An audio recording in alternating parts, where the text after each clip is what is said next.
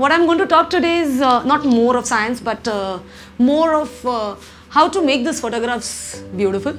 You can get a lot of science out of it, definitely. I mean, uh, the whole idea of doing astrophotography is definitely science, but uh, you can actually make them beautiful. Uh, you can actually make them really beautiful. We are all fascinated with space. We look at stars, we look at moon. I mean, moon is the first thing, obviously, that we all get fascinated with as a child. This is a Milky Way that you can see with naked eye, not as bright as this, again, because our eyes are not so sensitive. But let me tell you, uh, not close to Mumbai, but if you actually go to some dark places, you can see shadow of yourself by the light of Milky Way.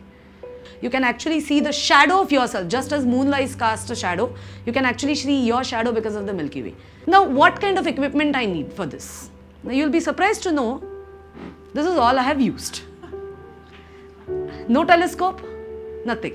All i have used is a plain camera with 18 mm kit lens. That's it. You with this simple equipment, you can actually go and take Milky Way photos. It's as simple as that. I, am still not sure what I should call myself. I'm more of an amateur astronomer than a professional astronomer, though I have earned a PhD in astronomy. But still, so uh, to be very frank, most of the astronomers, professional astronomers, don't really go out for night sky observation at all. No one because it's not needed uh, to be very frank. You have telescopes for working for you and you get data right on your computers. So the work is actually to uh, sit in your cozy lab with a cup of coffee and work on the data and do nothing more. So you don't really need to spend nights out. But uh, as i said this is more of my passion. I just it just makes me happy just going out under the night sky and just staring at the sky. Like it just makes me happy